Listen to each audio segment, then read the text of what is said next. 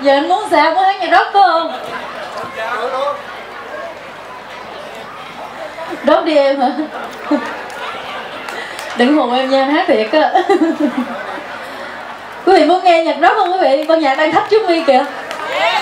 Muốn hả? Muốn nhỏ quá không hát? Muốn thiệt hả? Trời gân gì ta? Trời lạnh gân quá cho nó nóng hay sao? vậy giờ mình thử ha, thử cái ban nhạc sung cỡ nào. Tại con hát nhạc quê hương rồi ban nhạc đánh giống nhạc rock bây giờ phải đổi nhạc chứ sao? Quý vị mình đồng ý chú mi cho chú mi một chồng có tay thiệt lớn tặng ban nhạc đi, không phải tặng cho con đâu.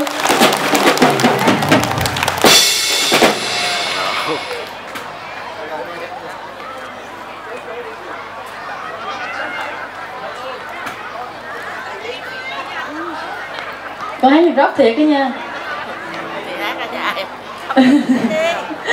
um, và tiếp nối chương trình thì um, nói phải làm.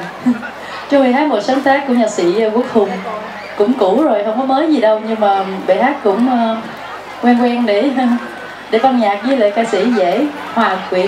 Để coi nó quyện tới cỡ nào. Bài hát được mang tên trống vắng xin mời quý vị cùng nghe.